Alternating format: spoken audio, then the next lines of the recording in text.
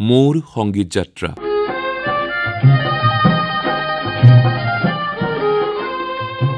এই অনুষ্ঠানত বৰ্তমান প্ৰচাৰ হৈ আছে শিল্পী দুৰ্গাময়ী বৰাৰ গীত আৰু তেখেতৰ সৈতে হোৱা এলানি সাক্ষাৎকাৰ।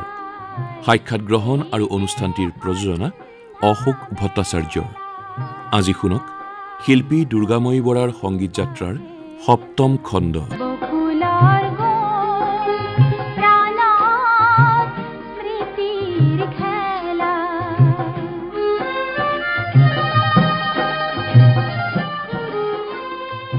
বাইদেউ নমস্কাৰ। নমস্কাৰ। আজি আমি কথা পাতিছোঁ আপোনাৰ সংগীত যাত্ৰাৰ সপ্তম খণ্ডত।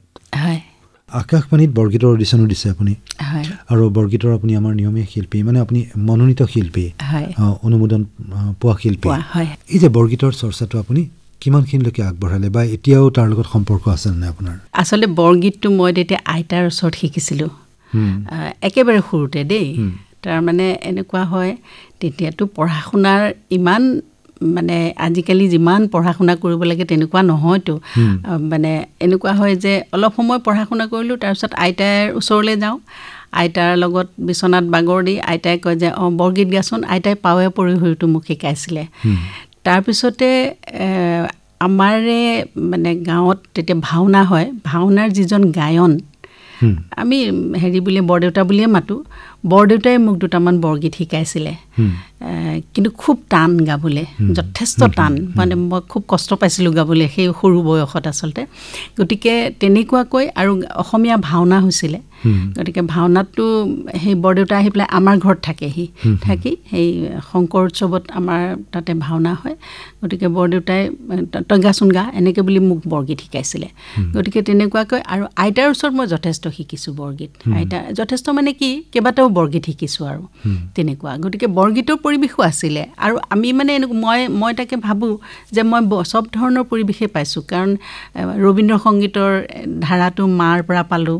আকৌ ইফালে আইতাৰ পৰা ঘোষা গাবলৈ নাম হেৰি মানে তেনেকুৱা আকৌ বিলাপ পয়াৰ এনেকুৱা ধৰণৰ আমাৰ ঘৰত এজন আমাৰ খেতি বাতি চম্ভালিবৰ কাৰণে আমি বৰদেউতা বুলিয়ে মাতিছিলোঁ তেওঁকো জেঠৰাম বৰদেউতা।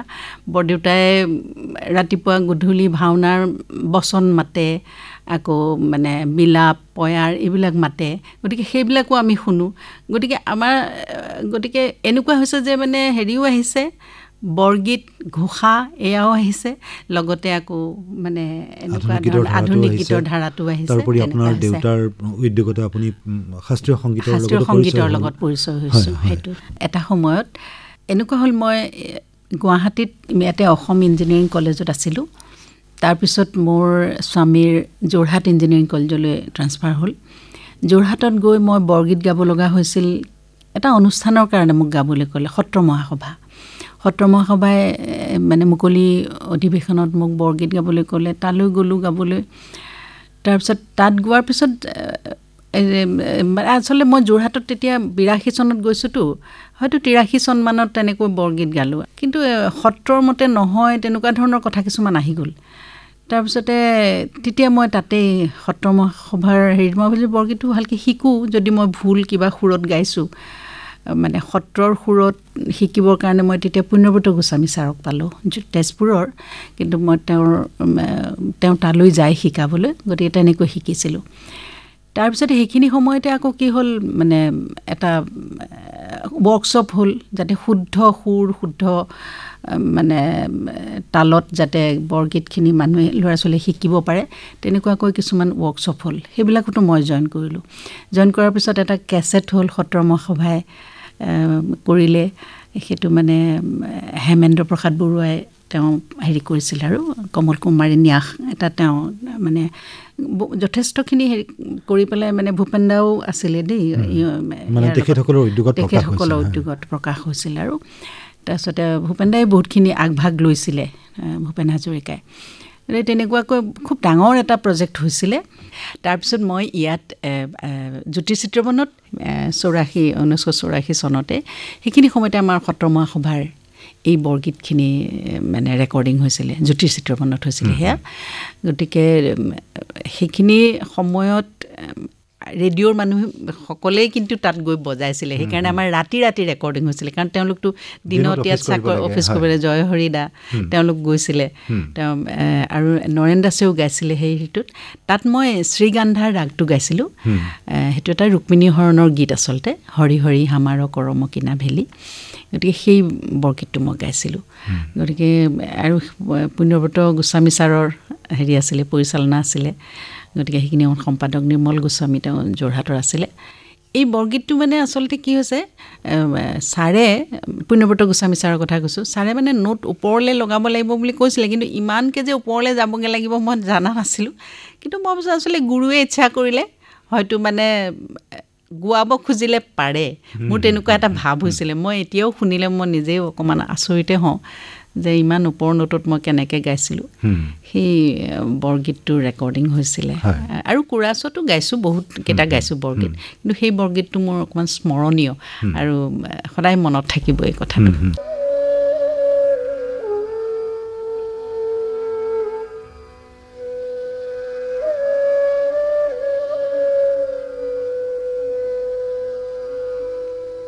কৃষ্ণ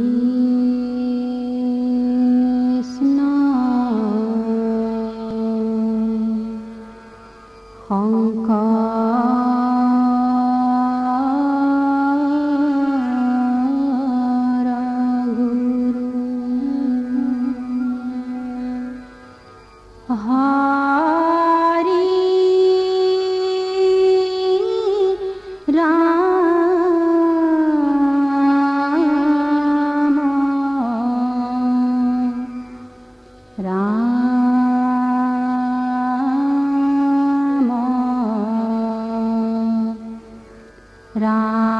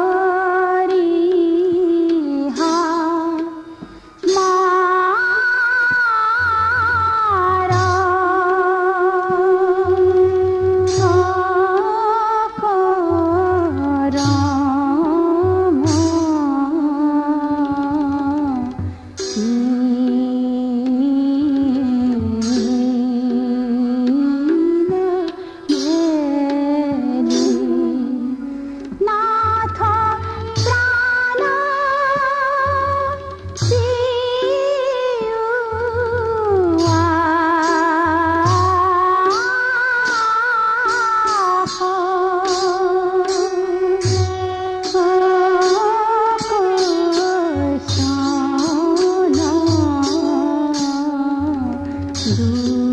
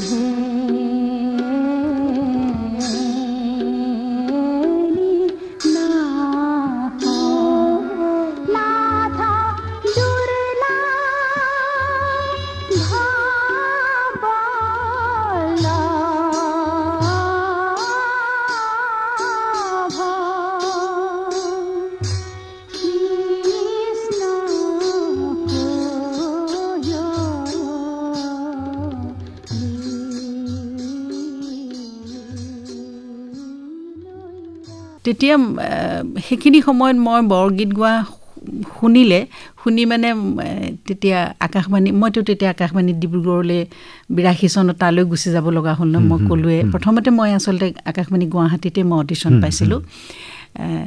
তাৰপিছত মই বিৰাশী চনত তালৈ গ'লোগৈ।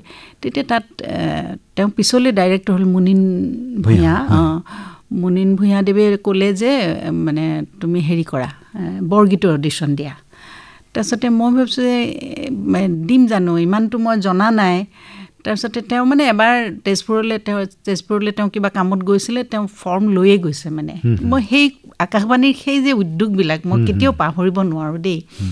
আৰু আমাক আচলতে কি গায়ক গায়িকা বুলি যে গম পাইছে আকাশবাণীহে আমাক কৰিছে নহয় জানো বাৰু? নহ'লেতো আমি ভিতৰতে সোমাই থাকিলোহেঁতেন সেই তাতেই গাই থাকিলোহেঁতেন। গতিকে তেতিয়া মানে এই এ, মুনিন দাই কি কৰিলে ফৰ্ম লৈ গৈ মই খুব এটা দিবলৈ ইচ্ছা কৰা নাছিলোঁ। ত' তেখেতে কৈছে দিওঁ আৰু। সেই বুলি পেলাই অডিশ্যন মই তেতিয়া ডিব্ৰুগড় ৰেডিঅ'ত কিন্তু মই। বৰগীতৰ লগতে আকৌ ভজনৰো দিব লগা হ'ল আকৌ সেইটোও বেলেগ এটা অধ্যায় দেই। মানে দুয়োটা মই একে বহাতেই দিছোঁ অডিশ্যন মানে একেটা অডিশ্যনৰ কাৰণে মই দুইটাৰ কাৰণে এপ্লাই কৰিলোঁ। মানে ভজনৰ কাৰণে দিবলৈ কৈ আছে মই ভজন আৰু বৰগীতৰ কাৰণে দুটাই কাৰণে এপ্লাই কৰি দিওঁ। গতিকে তেনেকৈ মই ডিব্ৰুগড় তেনেকৈ আপুনি ৰেডিঅ'ত ভজন অডিশ্যন আৰু দিছিলোঁ। বৰগীত দুয়োটাৰে মনোনয়নো পালে? মনোনয়নো পালোঁ। অনুমোদন পোৱাৰ পিছত আপুনি বৰ্তমান আধুনিক গীত বৰগীত ভজন এই গোটেইকেইটা তিনিওটা শিল্পী। খালি আপোনাৰ। সেই শাস্ত্ৰীয় সংগীতৰ দিশটোত আগবঢ়া নহ'ল। আগবঢ়া নহ'ল আৰু নহ'ল আৰু। যদিও প্ৰথম অডিশ্যনটো আপুনি শাস্ত্ৰীয় শাস্ত্ৰীয়। হয়। এটা প্ৰশ্ন এতিয়ালৈকে সোধাই নাই। সেইটো হৈছে আপোনাৰ নিজৰ গীত যিটো গীত আপুনি নিজৰ বাবে মই গাম সেইবাবে মোৰ কাৰোবাৰ পৰা কোনোবা এগৰাকী গীতিকাৰৰ পৰা লিখাই লৈ আপুনি নিজে গাইছে। হয়তো সুৰ কোনে দিছে নিজেও দিব পাৰে। তেনেকুৱা গীত কিবা আপোনাৰ মনত আছে?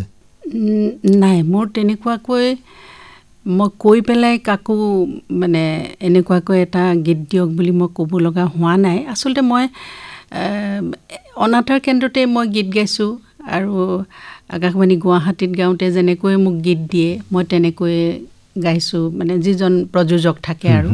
তেখেতেই চিলেক্ট কৰে কৰি পেলাই মোক গান শিকাই মই গাইছোঁ।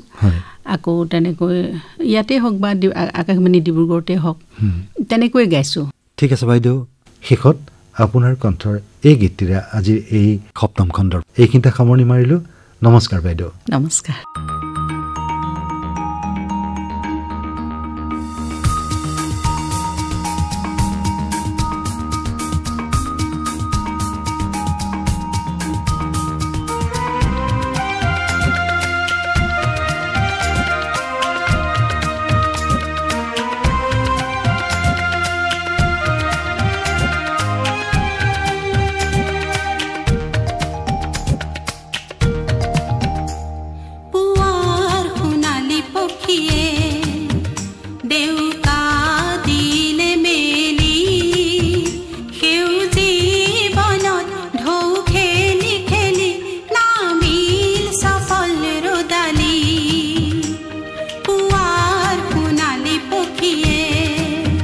đều